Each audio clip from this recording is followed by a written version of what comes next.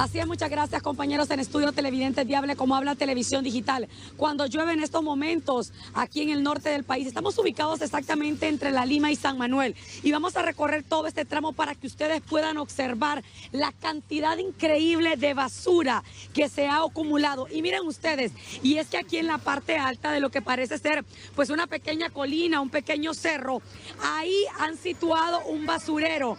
Pero ahora vean ustedes, la gente realmente aquí tiene que haber una conciencia por parte de los pobladores. Vean ustedes, o sea, no se toman ni siquiera el tiempo de poder subir un poco o esperar el camión de la basura, sino que le han venido a tirar toda la orilla. Esto realmente es da asco, da asco realmente cruzar entre los municipios de La Lima y San Manuel. Además de esto, pues el charquero tremendo, los olores putrefactos. En este momento que está lloviendo, ya se imaginarán ustedes cómo todos estos jugos de la basura se comienzan a regar por todos los alrededores. En la parte alta ahí van a ver ustedes dónde está exactamente el basurero, que es el que se ha instalado en este sector.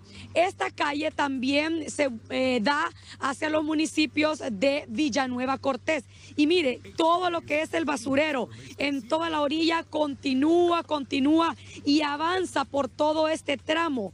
O sea, aquí podemos seguir caminando y es aproximadamente un kilómetro de basura. Miren, cartones, televisores, ropa, desperdicios de fábrica, em, árboles grandes, gigantescos que han sido podados y todo esto a la orilla de la calle a vista y paciencia de las autoridades. Y han sido precisamente las personas que transitan por este sector que han reclamado a HCH para que se haga también presente y pueda de esta manera denunciar esta asquerosidad que se vive en todo este tramo carretero que como les digo es la que conecta entre La Lima, San Manuel y Villanueva y aquí podemos seguir y ahí se puede ver donde se provocan también algunos incendios producto de todos los gases de esta acumulación de basura. Así que estas son denuncias que aquí en HCH les presentamos a ustedes para que las autoridades también puedan hacer algo porque es increíble. Miren, esta, esto es demasiado.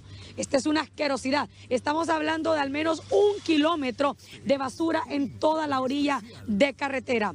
Información que nos les proporcionamos a ustedes a esta hora de la mañana. Imágenes de mi compañero Eduardo, el Toro Mengíbar, con ustedes hasta los estudios. Gracias, gracias Uli Calix. Aquí tiene que hacer algo.